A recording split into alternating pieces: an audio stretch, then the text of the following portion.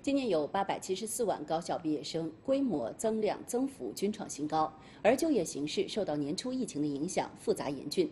从今年年初开始，中国推出了许多举措，聚焦高校毕业生这一重点就业群体，积极缓解就业压力。无论是企业扩招、基层就业扩岗、鼓励创业带动就业，还是一场场的在线宣讲、线上线下的招聘活动，一系列的举措，就是为了保障高校毕业生们的就业。而另一方面，中国经济社会的发展、新业态的不断出现，也在改变着年轻人的择业观。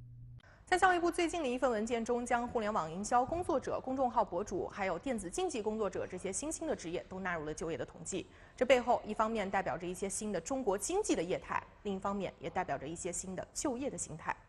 呃，我觉得这个一方面是说明，就是自媒体行业还有这个电竞行业的发展得到了国家层面的一个认可。因为我身边有做这样的同学，电竞玩得很好的，他们的收入也我觉得也不错。现在这个大环境就是网络环境，新媒体。环境嘛，现在学生什么的刚出来，然后也可以做做，也可以学学。为了鼓励高校毕业生多元的职业选择，国家也提出了要重点支持高校毕业生等群体就业创业，推出了包括加大对于创业创新主体的支持，鼓励金融机构开展设备融资租赁和与创业相关的保险业务等四项举措。在承德市的大学生创业园，为了鼓励园区企业吸纳高校毕业生，当地也专门制定了支持的政策。每吸纳一名高校毕业生，就给这些中小微企业一千元的吸纳补贴，同时给予三年的社会保险补贴，从多方入手来促进高校毕业生的就业和创业。今年我们出台了一项新政策，把电商创业纳入到创业担保贷款的呃支持范围，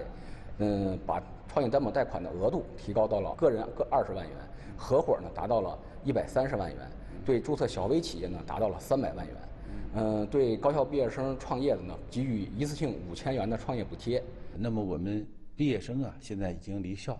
但是我们就业工作呢不断线，我们做就业指导、就业帮扶，要持续的推进，让我们每一个有就业需求的学生都能够顺利就业，达到我们预定的就业目标。总台央视记者河北报道。